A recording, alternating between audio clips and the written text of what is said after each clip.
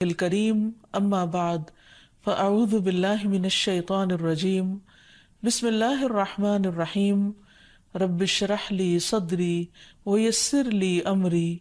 वहलुल उक़दतम मिन लिसानी यफ़क़हू क़ौली। अस्सलामु अलैकुम वरहमतुल्लाहि वबरकातुहू। नाजरीन प्रोग्राम दुआ कीजिए के साथ आपकी खिदमत में हाजिर हैं। आज हम इंशाअल्लाह बीमारी से शिफा की दुआएँ आपके साथ शेयर करेंगे। सेहत और बीमारी इंसानी ज़िंदगी के साथ साथ है। इंसान की ज़िंदगी के कोई भी दो दिन एक जैसे नहीं होते। आज अगर इंसान खुश है तो कल उदास होगा। अगर आज वो अपने जिस्म में कुव्वत महसूस कर रहा है तो कल बीमार हो सकता है। इंसान के ऊपर दिन में भी कई बार मुख्तलिफ़ तरह की कैफियत गुजरती हैं।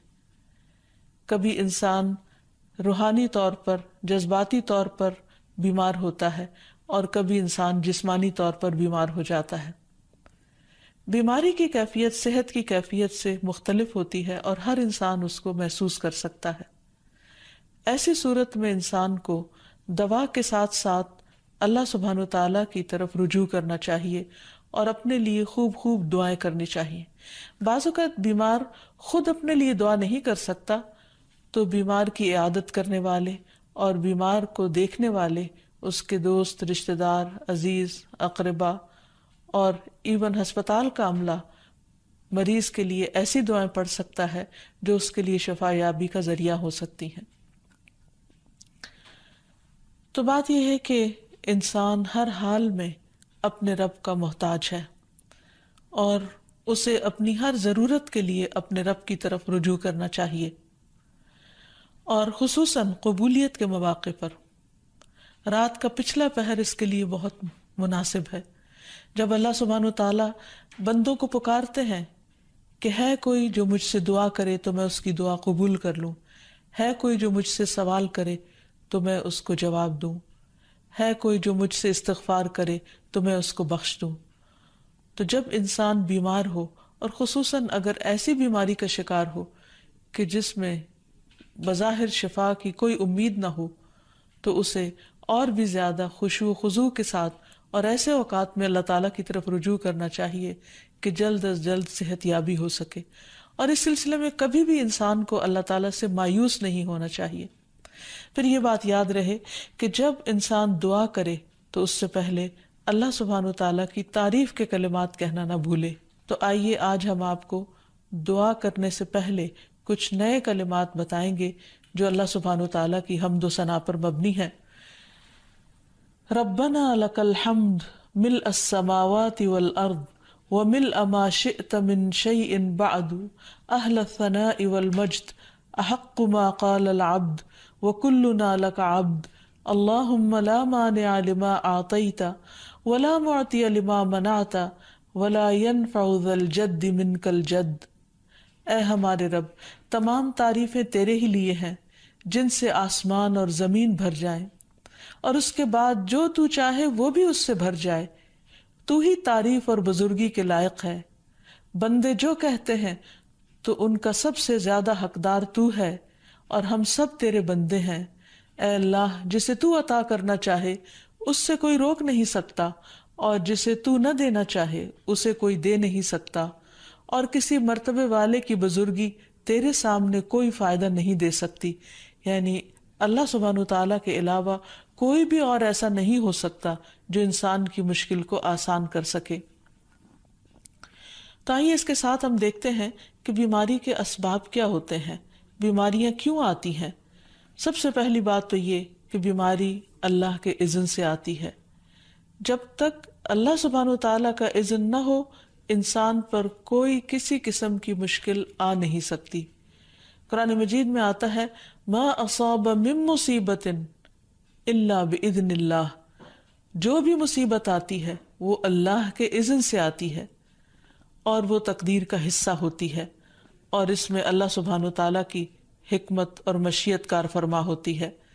और वो क्या हो सकती है? मसलन अल्लाह ताला किसी बंदे के साथ भलाई का इरादा करते हैं।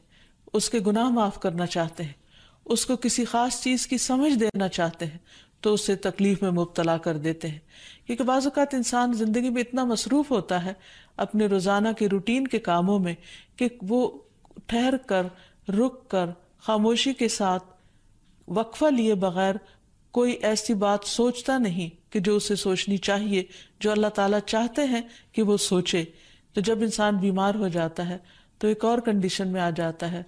वो आराम की कैफियत में आ जाता है। ऐसी सूरत में इंसान को वो बातें भी सोचने का मौका मिल जाता है जो आम तौर पर वो नहीं सोचता। फिर इसी तरह हमें हमारा दिन ये भी बताता है कि बाज़ात इंसान पर बीमारी या कोई भी तकलीफ़ उसके अपने हाथों की कमाई से आती है। यानी उसका अपना कोई गुनाह या कसूर होता है, जिसकी बिना पर उसे वो तकलीफ़ पहुँचती है। कुरान मजीद में आता है, वमा असाबकुम मिम फबिमा कसबत ऐदीकुम वयाफु अन कसीर और तुम्हें जो भी मुसीबत पहुँची तो वो इस वजह से है जो तुम्हारे हाथों ने कमाया और वो बहुत सी चीज़ों से दरगुजर कर जाता है इसी तरह बाज़ात इंसान की बीमारियाँ उसके किसी गुनाह का नतीजा होती हैं उमर रज़ी अल्लाह ने जब अब्बास रज़ी अल्लाह से बारिश की दुआ करने के लिए कहा तो उन्होंने कहा ए अल्लाह बेशक मुसीबतें गुनाहों की वजह से ही नाजिल होती हैं और उन्हें सिर्फ़ तौबा हटा सकती है। फिर इसी तरह एक और रिवायत में आता है, रसूलुल्लाह सल्लल्लाहु अलैहि वसल्लम ने फरमाया, जब भी किसी रग या आँख को नुकसान पहुँचता है तो वो किसी न किसी गुनाह की वजह से होता है।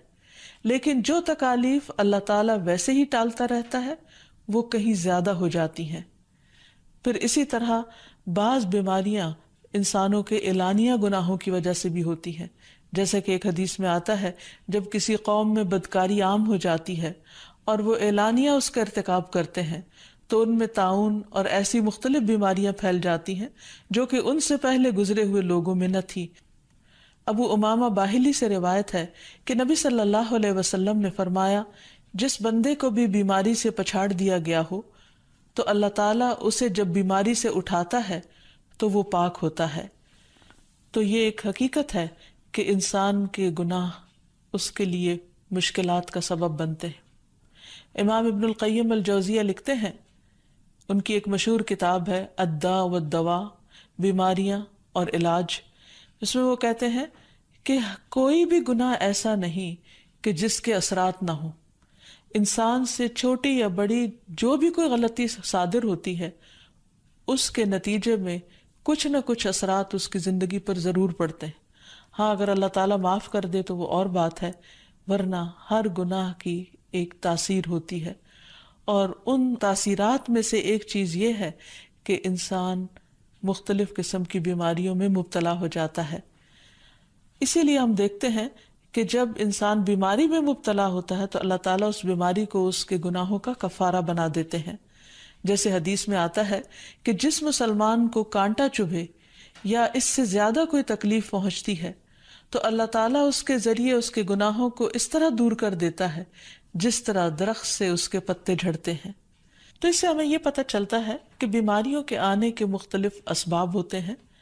बीमारी बहरहाल जिस भी वजह से आए, लेकिन असल चीज़ देखने की यह है कि मोमिन का रवैया क्या है।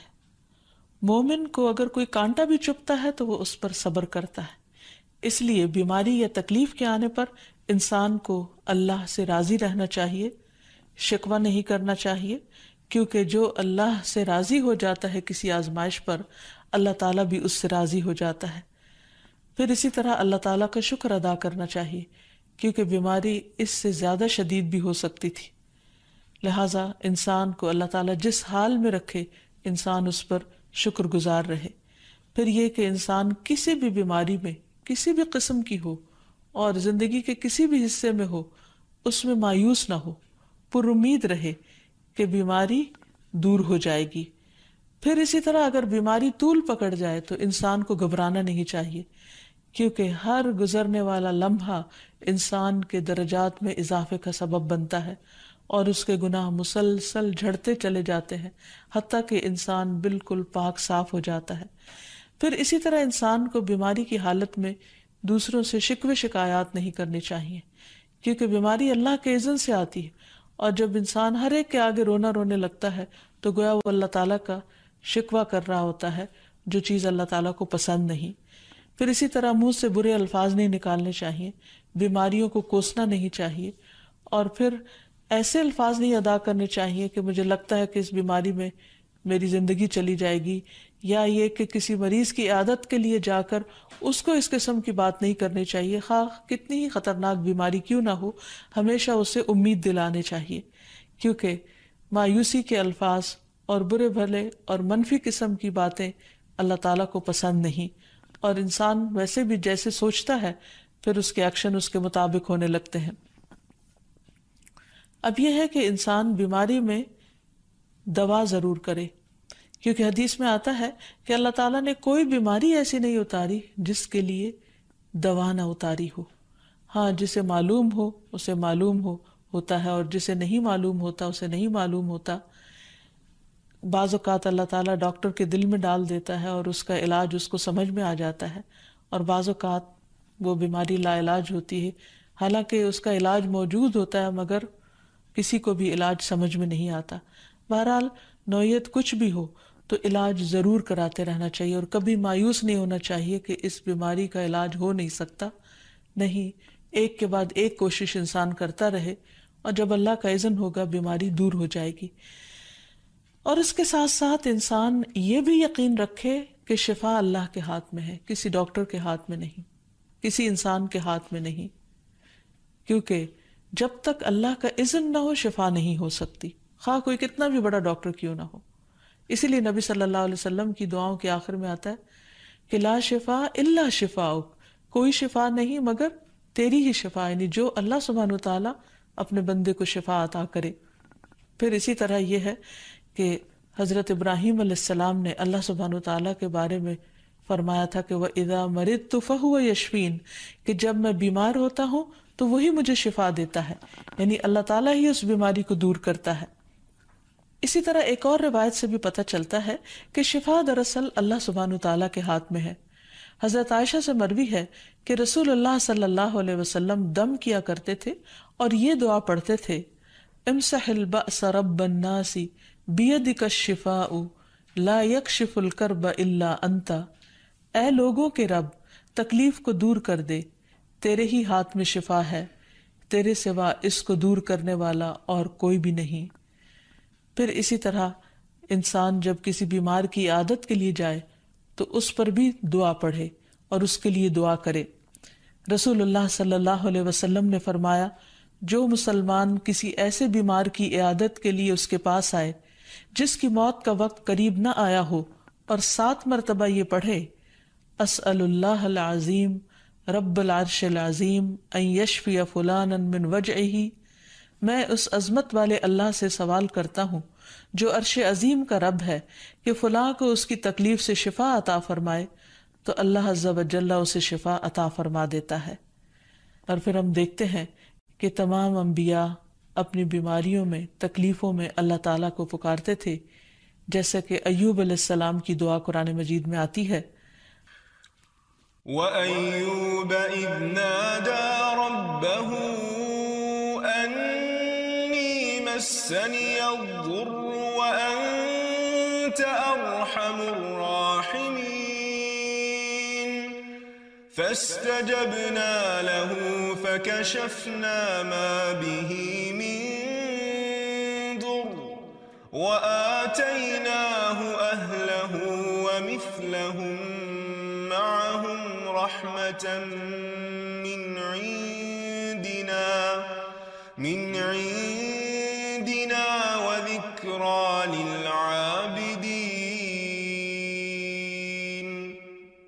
और अयूब जब उसने अपने रब को पुकारा कि बेशक मुझे तकलीफ पहुंची है और तू रहम करने वालों में सबसे ज्यादा रहम करने वाला है तो हमने उसकी दुआ कबूल कर ली बस उसे जो भी तकलीफ थी उसे दूर कर दिया और उसे उसके घर वाले और उनके साथ उनकी मिसल और अता कर दिए, अपने पास से रहमत के लिए और उन लोगों की याद दहानी के लिए जो इबादत करने वाले हैं। इसी तरह रसूलुल्लाह सल्लल्लाहु अलैहि वसल्लम ने एक और मौके पर एक सहाबी उस्मान बिन अबी आस असक़फ़ी को एक दुआ सिखाई। जब वो नबी सल्लल्लाहु अलैहि वसल्लम के पास हाजिर हुए, वो कहते हैं, मुझे इतनी तकलीफ़ थी कि करीब था कि वो मुझे हलाक कर देती। तो नबी सल्लल्लाहु अलैहि वसल्लम ने मुझे फरमाया, इस दर्द की जगह पर अपना दायां हाथ रखो और सात मरतबा कहो, बिस्मिल्लाहि आऊज़ु बिइज़्ज़तिल्लाहि व अजिदु व अल्लाह के नाम के साथ मैं पनाह माँगता हूँ अल्लाह की इज़्ज़त की और उसकी कुदरत की, उस शर से जो मैं महसूस करता हूँ, यानी उस तकलीफ़ से बचने के लिए जो मुझे महसूस हो रही है और जिससे मैं खौफ महसूस करता हूँ। उस्मान कहते हैं कि जब मैंने ये पढ़ा तो अल्लाह सुबहान तआला ने मुझे शिफा अता कर दी। फिर इसी तरह हर बीमारी से शिफा की दुआ नबी सल्लल्लाहु अलैहि वसल्लम ने सिखाई। अब्दुल्ला बिन अब्बास से मरवी है कि नबी अकरम सल्लल्लाहु अलैहि वसल्लम ने फरमाया, जब कोई शख्स किसी ऐसे मरीज़ की इयादत करे, जिसकी मौत का वक्त अभी करीब न आया हो, और उसके पास सात मरतबा ये दुआ पढ़े, असअलुल्लाहल रब्बल अजीमी यशफियक। मैं अजमत वाले अल्लाह, जो अरश अजीम का रब है, उससे दुआ करता हूँ कि वो तुम्हें शिफा अता करे तो अल्लाह ताला उसे इस मर्ज से शिफा अता कर देगा। फिर इसी तरह नबी सल्लल्लाहु अलैहि वसल्लम अगर किसी को कोई फोड़ा बिंसी होती तो अपने लुआब दहन के साथ ज़मीन की मट्टी थोड़ी सी लेकर उस दर्द तकलीफ़ वाली जगह पर लगाते तो उससे भी शिफा होती। हज़रत आयशा कहती हैं कि जब किसी इंसान के उज़ में कोई तकलीफ़ होती फोड़ा या जख्म होता तो नबी सल्लल्लाहु अलैहि वसल्लम अपनी उंगली इस तरह रखते। और सुफियान जो रावी हैं, उन्होंने अपनी शहादत की उंगली ज़मीन पर रखी, फिर उसे उठाकर फरमाया, बिस्मिल्लाह तुरबत अर्दिना, बिरीकत बादिना, लियुशफा बिही सकीमुना, बेइदन रब्बिना। अल्लाह के नाम के साथ हमारी ज़मीन की मट्टी, हमारे रब के हुक्म से, हम में से बास के थूक के साथ हमारे बीमार को शिफा दी जाए। यानी लाब दहन का अपना एक असर होता है और लाब दहन जो है एक तरह से दवा का काम करता है और अल्लाह का नाम लेकर जब लाब दहन लगाया जाए तो शिफा होती है। जैसे कि एक और मौके पर नबी सल्लल्लाहु अलैहि वसल्लम ने एक जले हुए मरीज़ के ऊपर यही दुआ पढ़कर लुआब दहन लगाया तो अल्लाह ताला ने उस मरीज़ को शफायाब कर दिया और वो दुआ थी अबहिबिलबन्नास वशफ़ अंत शाफी, ला शिफा इल्ला शिफा उका शिफा अल्लाह युगादिर फिर इसी तरह एक मौके पर एक कबीले के सरदार को जब बिच्छू ने काट लिया और उसके जिसम में जहर फैल गया तो एक सहाबी ने सूरत अल्फातिहा पढ़कर उस पर दम किया तो उससे उसको शिफा हो गई। और ये बात जब नबी सल्लल्लाहु अलैहि वसल्लम को बताई गई तो आप इस पर खुश हुए। और सूरत फातिहा सब लोगों को आती है, इसीलिए इसका नाम सूरत शिफा भी है, क्योंकि ये बीमारी में बतौर इलाज पढ़ी जाती है मरीज़ पर। मरीज़ खुद भी पढ़ सकता है और उसके अटेंडेंट्स भी उस पर पढ़ सकते हैं। हज़रत अली रज़ी अल्लाह तला कहते हैं कि नबी सल्लल्लाहु अलैहि वसल्लम को बिच्छू ने डस लिया। और आप नमाज़ पढ़ रहे थे। जब आप नमाज़ से फारे हुए तो आपने फरमाया, अल्लाह ताला बिच्छू पर लानत करे। ये ना नमाजी को छोड़ता है, न किसी और को। फिर आपने पानी और नमक मंगवाया। आप उस पर मलते जा रहे थे और ये सूरतें पढ़ रहे थे। कुल या यूहल काफिरून वकुल अऊज़ बिरबिल फलक, और कुल अऊज़ बिरबिन नास। तो ये भी ऐसे मौाक़े पर पढ़ी जा सकती हैं। फिर इसी तरह यह है कि अगर किसी भी दवा या दुआ से मरीज़ सेहत याब न हो रहा हो, उसकी तकलीफ़ कम न हो रही हो तो भी मौत नहीं मांगनी चाहिए। क्योंकि मोमिन के लिए ज़िंदगी एक बहुत बड़ी नेमत है। वो जिस भी हाल में गुजरे, बहरहाल वो उसे आखरत कमाने का ज़रिया बना सकता है। यानी अगर वो तकलीफ़ में उसकी ज़िंदगी गुजर रही है और उस पर वो सब्र कर रहा है और अल्लाह को याद कर रहा है तो इसके बेपनाह दर्जात बुलंद होने का ज़रिया है। यानी ये बीमारी उसके लिए बुलंदी दर्जात का ज़रिया बन जाती है। इसलिए कभी भी मौत नहीं मांगनी चाहिए। हाँ अगर तकलीफ़ हद से बढ़ जाए तो इंसान ये दुआ मांग सकता है। अल्लाहुम्मा अहयनी मा कानतिल हयात खैरल्ली व तवफ़नी इदा कानतिल वफ़ात खैरल्ली अल्लाह, जब तक मेरे लिए ज़िंदगी बेहतर हो, मुझे ज़िंदा रख, और जब मेरे लिए वफ़ात बेहतर हो तो मुझे वफ़ात दे दे। तो अल्लाह ताला से दुआ है कि अल्लाह ताला तमाम बीमारों को सेहत और शिफा अता फरमाए और हमें बीमारी और आजमाइश के मौके पर अपनी तरफ़ रुजू करने की तौफीक दे।